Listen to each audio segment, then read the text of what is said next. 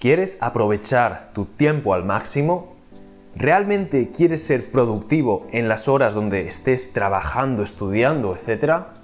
Pues estás en el lugar correcto. Hoy, en menos de 5 minutos, aprenderás una técnica simple que revolucionará todos tus resultados si realmente lo aplicas en tu vida. Muchas veces nos ocurre algo muy raro y es que queremos trabajar, pero no podemos trabajar. ¿Qué significa eso? ¿Que nos estamos volviendo locos? Porque si parte de mí quiere terminar esta redacción, pero no puedo porque otra parte de mí no quiere, es que, ¿qué ocurre realmente? Lo que ocurre es esto, no nos estamos volviendo locos, sino que dentro, una forma simple de verlo, es que dentro de nuestra mente tenemos varias versiones de nosotros mismos, diferentes partes de nosotros, y a lo mejor este de aquí es nuestra parte racional y dice, yo sí que quiero terminar este trabajo porque sé que esto pues me vaciará más tiempo, me hará ir menos estresado. Esta parte de nosotros sí que quiere, pero después hay otra parte que a lo mejor está en conflicto.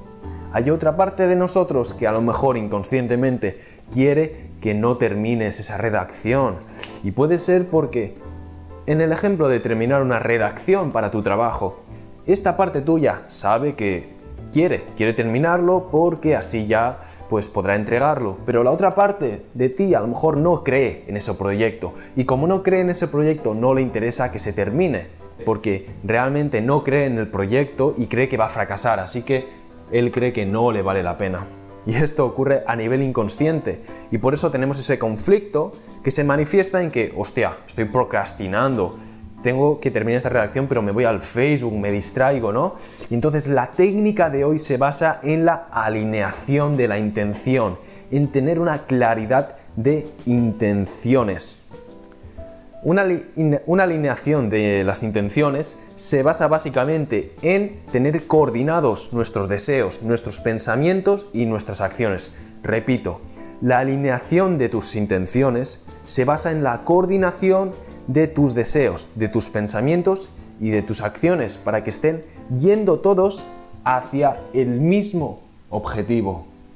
¿Recuerdas alguna vez en tu vida en el que tenías algún proyecto o algo que hacer que realmente te apasionaba y entonces tú eras muy productivo, sentías que podías, lo hacías y con gusto y realmente pues estabas creando. En ese momento, si te fijas, es todo tu yo, todas las partes de tu cerebro estaban coordinadas. Tus deseos, tus pensamientos, tus acciones estaban todos yendo hacia una. ¿Y cómo se le denomina este fenómeno? Se le denomina flujo, estado de flujo o en inglés flow, state of flow, que es cuando estás inmerso en la actividad y totalmente coordinado. Entonces, ¿cómo pasamos de este estado en el que partes de nosotros quieren, partes no y por lo tanto nos sabotean a estar en un estado de flujo? Pues básicamente con tres sencillos pasos que a mí me funcionan y yo te los recomiendo. Número uno, ahora que ya tienes esta información de gran calidad, debes ser consciente. Antes de ponerte a trabajar, antes de ser productivo, antes de hacer cualquier cosa que valga la pena, párate a pensar, hey, ¿hacia dónde están mis intenciones? ¿Hay una alineación? ¿Dónde están? Porque cada sesión será distinta.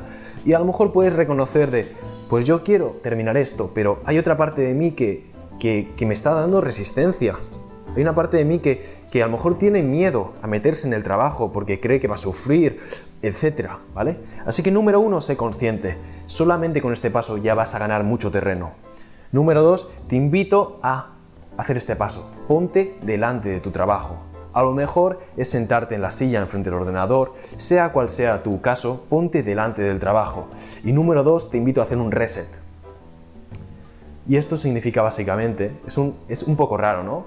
Pero es ponte delante, cierra los ojos y respira. Céntrate.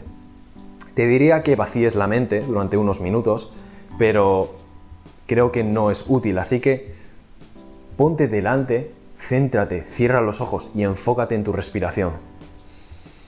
Durante un minuto, respira profundamente y céntrate en tu respiración con los ojos cerrados. Y te invito a que cuando abras los ojos, observes el trabajo que tienes delante y empieces a hacerlo. No le des más vueltas, no le des más vueltas, ya lo sé, no es tan fácil, lo sé. No le des más vueltas, reset. Cierra los ojos, respira, céntrate, abre los ojos, actívate. Y vamos a activar el tren. El tren comienza, la locomotora comienza, le cuesta arrancar y llega un punto en el que te pones y coges momentum, coges impulso y activas todo el tren.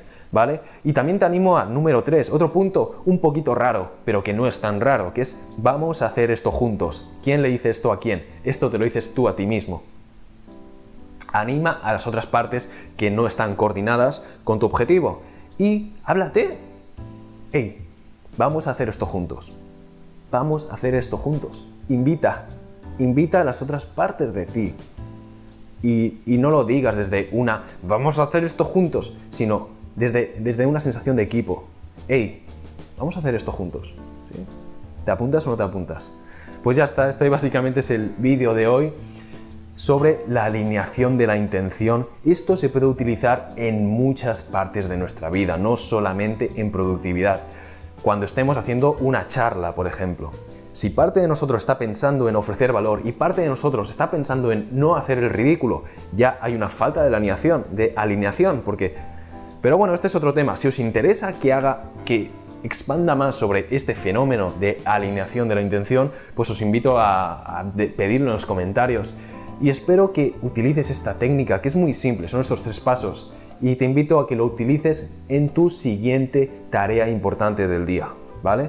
Pues ya está. Yo soy Jordi Bu, un placer tenerte por aquí. Te invito a ir a mi página web www.vidaproductiva.com y estamos en contacto. Un fuerte abrazo.